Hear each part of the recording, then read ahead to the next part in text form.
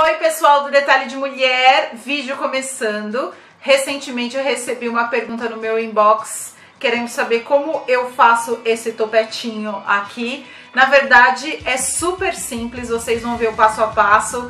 É fundamental ter um mousse, um gel fixador, um pouquinho de paciência e ela precisa estar fixada na cabeça, né? É muito difícil conseguir um efeito assim e uma naturalidade no perímetro se ela não estiver fixada na cabeça. Eu tô usando aquela minha lace wig que eu amo, que tem o ombre hair, fazia tempo que eu não aparecia com ela aqui. Ela tá rasgadinha, então vocês vão ver que tem uma hora no vídeo aí que aparece um pedacinho da linha, mas eu preciso mandar consertar, só que eu amo tanto, assim, que eu não, eu tenho um apego né, com a cor, com a textura. Esse cabelo tem quase dois anos de uso e um brilho incrível, uma qualidade incrível. Ele é da RPG Show, não tem mais à venda, era uma coleção limitada, como vocês sabem.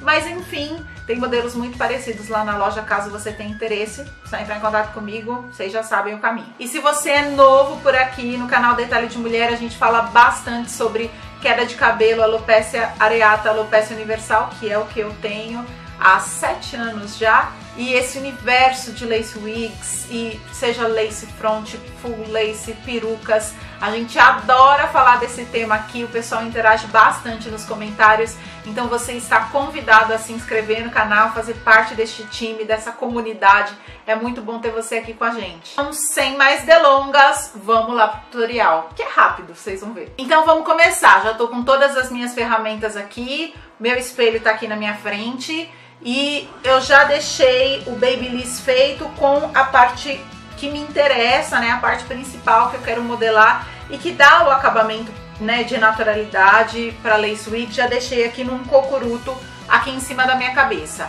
Uma coisa que é muito importante vocês repararem, que é assim, a amarração que é feita na lace wig, obviamente, é diferente do bulbo capilar. Então, é, apesar dela ser ter livre repartição, vamos dizer assim, você não consegue jogar de um lado para o outro sem modelar ela propriamente. Eu gosto de jogar da direita para a esquerda, é o meu jeito favorito, eu, eu me sinto mais à vontade, meu cabelo natural era assim também. É, às vezes me dá louco, eu inverto, assim, não, eu não tenho muito uma regra, né? Eu gosto meio que dos dois lados, mas esse aqui eu já reparei que é o meu lado de preferência, é quase que uma coisa inconsciente, né? Mas é o meu lado de preferência. É, agora, ele já está, assim, em U, mas vocês vão ver que ele já tem uma pré tendência, vamos dizer assim, a ficar desse lado, mas isso é porque eu acostumei a minha lace wig assim. Se você acostumar a sua de outro jeito, ela vai ficar de outro jeito beleza? Uma outra coisa que é legal destacar é que hoje a minha lace wig está colada com adesivo dupla face. Normalmente eu não colo as minhas lace wigs, eu não gosto de usar cola no dia a dia, mas para conseguir modelar propriamente é legal que ela esteja muito bem fixada. A hair grip ajuda? Sim. Ele vai dar uma levantadinha, mas via de regra você consegue um bom resultado com ela. O que você não vai conseguir é um excelente acabamento aqui na linha frontal, principalmente se você modelar né, o topete muito para cima. Então o ideal seria você complementar com um acabamento ou com gel cola, que é o, o Got to Be Glued, ou aquele gorila, né? É, um gel cola de alta fixação, que, que te ajude nessa questão aqui do perímetro, ou adesivo próprio para lace wig, ou cola própria para lace wig, enfim fica a seu critério. Vou começar aqui, é super simples, gente. Vou soltar essa parte que não tá com babyliss, vocês estão vendo aqui, ó, que ela tá lisa. Pega uma escova, o cabelo, ele já tá super hidratado e com proteção térmica, tá? Apesar dele não tá molhado. Pra ajudar nessa fixação, esse cabelo ficar um pouco mais pra cima, eu vou usar um mousse. Esse é um mousse modelador, fixação extra forte da Charming. Eu comprei aqui no Brasil, não é importado, é super barato, inclusive. Não lembro quanto custou, mas não foi caro não. Aí eu pego uma quantidade aqui na minha mão, o mousse ele aumenta muito mais, né, do que a gente espera. E aí eu venho com esse mousse e coloco, parece que vai fazer caca, mas não vai. Pode ir firme, segura, que vai dar certo. Tenta colocar bem da parte da raiz aqui, ó, tá vendo? que é esse pedaço que estando com fixação vai fazer bastante a diferença. Aí eu já vou modelando para lateral. De passar a mousse, vocês estão vendo que ele já fica pra cima. Já dá um efeito totalmente diferente. Tentear, ele já fica mais topetudo, tá vendo? Ele já melhora aqui. Esse pretinho aqui eu vou ter que tirar depois, que é a costura da minha lace wig que está rasgando. Mas mesmo assim, eu adoro muito, eu vou continuar usando. Mas depois eu arrumo aqui, que é a costurinha que eu fiz. Vocês ignorem essa, costura, essa linha. Se você quiser esperar secar e deixar assim mesmo, sem fazer mais nada, não tem problema nenhum. Depois você só ajeitaria aqui. O que, que eu pessoalmente gosto de fazer?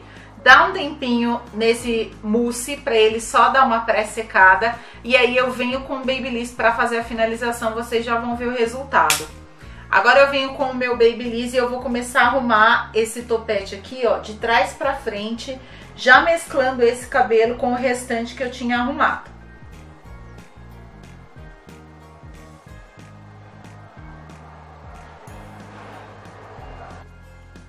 Como aqui o cabelo tá mais durinho, Achei melhor separar com o pente. Bom, agora, qual que é o trucão? Colocar o Babyliss por trás da mecha, porque aí o cabelo vai fazer a onda pra trás. Então, eu pego aqui, ó, o Babyliss por trás, venho, e aí ao invés de ficar assim, eu vou fazendo mais ou menos esse exercício aqui, ó para que fique uma onda, o cabelo cria esse volume aqui, tá vendo? Última mecha, mecha crucial. Se não der certo da primeira vez, você faz mais uma, enfim, não é nada que você não consiga arrumar depois. Mesmo truque que eu fiz na outra. Babyliss por trás, o cabelo tá meio úmido por causa do mousse, então vocês vão ver que vai sair uma fumacinha, mas não tem problema.